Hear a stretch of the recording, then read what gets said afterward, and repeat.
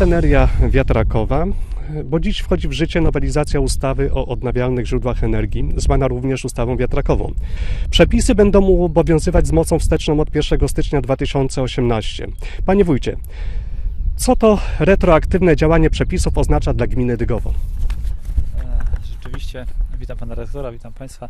Rzeczywiście e, ta zmiana ustawy o odnawialnych źródłach energii e, zawiera bardzo niekorzystne dla naszej gminy e, zmiany w sposobie naliczania podatku, podatku od elektrowni wiatrowych. Tutaj przypomnę, że w 2017 roku wprowadzona została zmiana, która, że tak powiem, działała na korzyść gminy. Ten podatek od elektrowni wiatrowych był wyższy, natomiast no, w dniu dzisiejszym mamy oto sytuację taką, że e, zmiana e, ustawy powoduje powrót do tych e, niższych wartości e, podatkowych, ale niestety e, z mocą obowiązującą od 1 stycznia 2018 roku.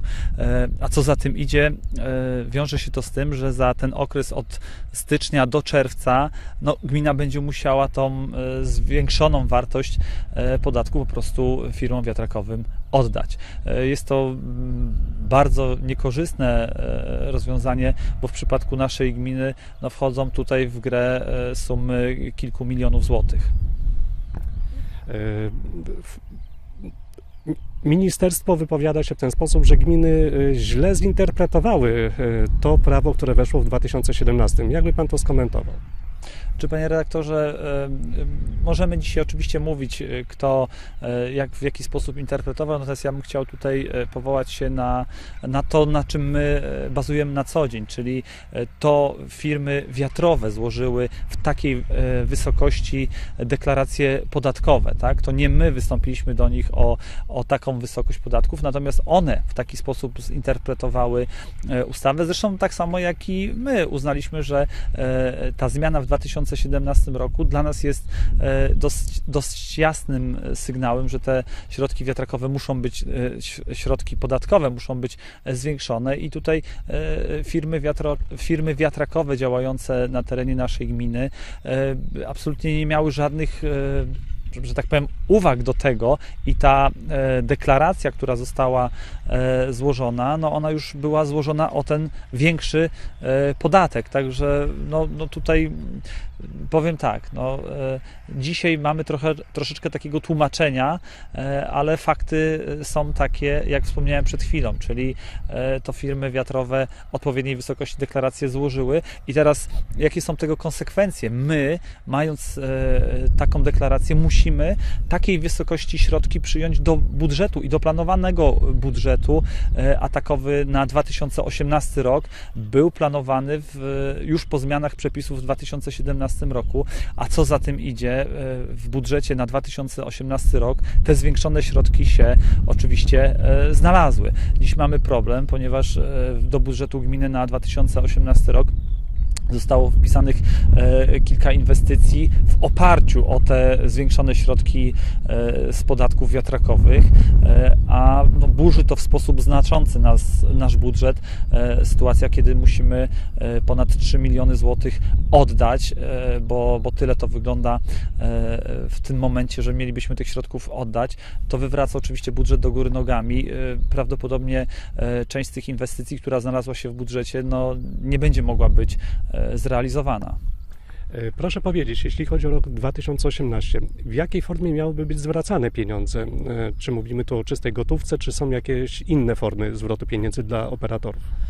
No to oczywiście e, robimy wszystko, żeby tej takiej e, powiedzmy żywej gotówki, e, żebyśmy nie musieli oddawać. Ja nie ukrywam, że prowadzone są rozmowy z przedstawicielami firm wiatrowych zmierzające w kierunku tego, żebyśmy mogli te wpłacone już środki dzisiaj zaliczyć na poczet przyszłych podatków, przyszłego czasu, w którym to firmy wiatrakowe muszą te podatki zapłacić. Oczywiście tutaj jako jedna z gmin wiatrakowych, bo tutaj chcę wspomnieć, że tych firm, na terenie których znajdują się elektrownie wiatrowe jest w Polsce około 250. No my też nie będziemy siedzieli tak z założonymi rękoma, będziemy starali się występować do Skarbu Państwa o rekompensatę, tak, ponieważ no, prawo nie powinno działać wstecz. Dzisiaj ponosimy konsekwencje działań i decyzji podjętych gdzieś tam na górze, z którymi oczywiście absolutnie się nie zgadzamy. Mam tu na myśli zarówno gminę Dygowo, jak i wiele, wiele innych gmin, na terenie których te e, wiatraki się znajdują.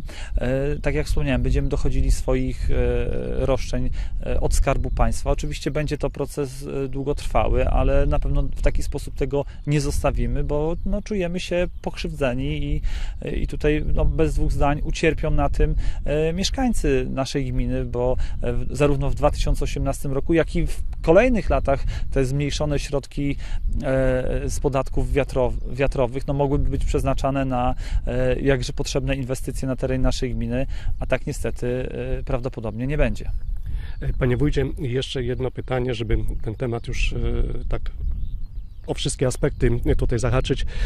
Rok 2017, bo to też jesteśmy jeszcze na etapie oczekiwania na decyzji sądu NSA. Dokładnie tak, tak jak e, wspomniałem wcześniej, e, firmy wiatrowe złożyły nam ten, e, te zwiększone deklaracje podatkowe, ale oczywiście wszystkie gminy z chyba przedstawicielami wszystkich firm wiatrowych e, są w sądzie. Zaczęło się od wojewódzkich sądów, gdzie samorządy oczywiście te sprawy wygrały i tutaj interpretacja tych przepisów z 2017 roku w wojewódzkich sądach nie pozostawia absolutnie żadnych e, złudzeń. Niemniej jednak trafiło to do Naczelnego Sądu Administracyjnego, e, który chyba we wrześniu e, podejmie już ostateczną decyzję. No, nie wyobrażam sobie dzisiaj, że mogłaby być ona inna niż uwzględnienie racji gmin, no ponieważ ta ustawa, która zmienia ta ustawa, w zasadzie ta obecna usta zmiana ustawy, no, zmienia ten przepis, który, który jeżeli e, Naczelny Sąd uznałby za właściwy, no to nie miałby racji bytu. Czyli czekamy na decyzję sądu i nie pozostaje nic innego, jak tylko liczyć na to, że również tutaj e, rozmowy z operatorami odnośnie zwrotu środków y, też przyniosą jakieś y, pozytywne dla gminy skutki. Ja oczywiście liczę na to i to powiem głośno, że nawet bardzo liczę na to, że w przypadku takich gmin jak gmina Dygowo, która e, te dochody ma ograniczone w zasadzie, e, można powiedzieć, tylko i wyłącznie o, e, o wiatraki. Nie mamy, nie jesteśmy gminą nadmorską, gdzie moglibyśmy tych dochodów pozyskiwać dużo, dużo więcej, również z, z innych dziedzin. My tutaj opieramy się głównie o podatki wiatrakowe. No liczymy na to, że jednak będzie to wsparcie z, z państwa, tak? Zostaliśmy dzisiaj postawieni w bardzo niekorzystnej sytuacji. Myślę, że, samo, że e, przedstawiciele władz e, centralnych no nie chciałyby, żebyśmy, żeby na terenie Polski przybyło gmin typu e, Ostrowice, bo w niektórych przypadkach to się wiąże aż z tak, z tak trudną sytuacją tych gmin. Tak? Także liczymy tutaj na pewno na, na wsparcie rządzących. Dziękuję za rozmowę. Dziękuję.